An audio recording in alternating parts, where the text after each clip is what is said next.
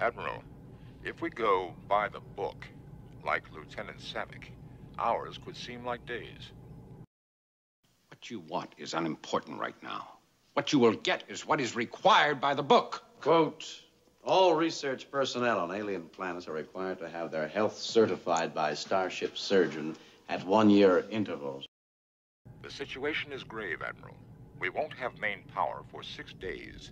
Auxiliary power has temporarily failed. Restoration may be possible in two days. By the book, Admiral. We were immobilized. Captain Spock said it would be two days. Belichick, you of all people go by the book. Spock! You know Dr. Marcus? Why, of course. Hello, Mr. Spock. I'm taking this bunch to sick bay. By the book? By the book. All the same, I'm going to advise Starfleet and get instructions.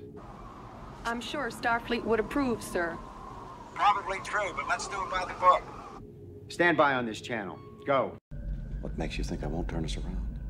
Because you too must know.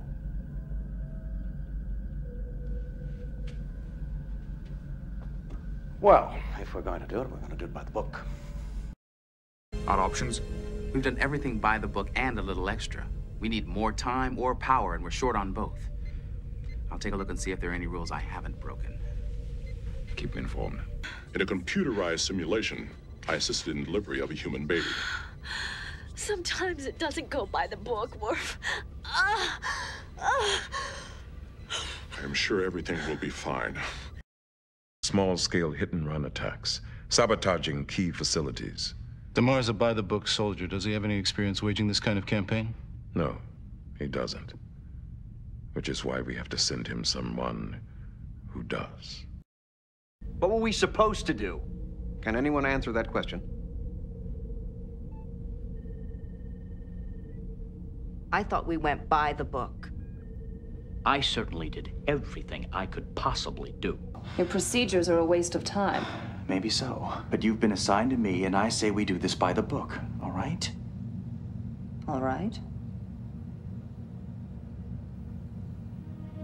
Three members of the same away team. Did you run into any kind of trouble while you were gone? None. The mission was by the book. Your engrammatic activities contradict that, Commander. The relays were rated to handle that much power. What if there's a surge? Ah, I've thought of that. These inverters were designed to cut in at the first sign of an overload. We gotta do this by the book, or we'll end up blowing a bigger hole in ourselves and the bad guys. You tried too hard. You did everything by the book. You burned the midnight oil in that simulator. 18, 20 hour days.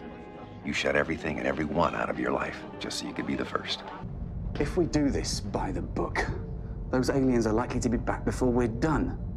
I want to get this job done as quickly as you do, Lieutenant, but not if it means taking shortcuts that could get our people killed. Regulation 46A. If transmissions are being monitored during battle, No uncoded messages on an open channel. You lied. I exaggerated.